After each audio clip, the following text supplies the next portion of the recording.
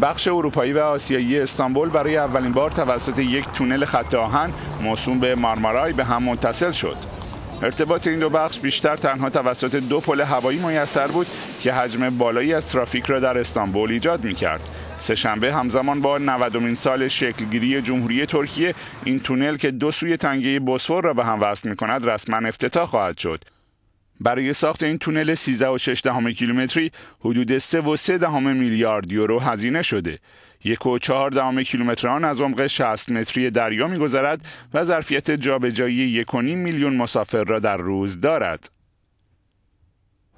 این پروژه حاصل همکاری مهندسان و شرکت های ترکیه با شرکت ها و سرمایه گذاران خارجی و در صدر آنها ژاپن است.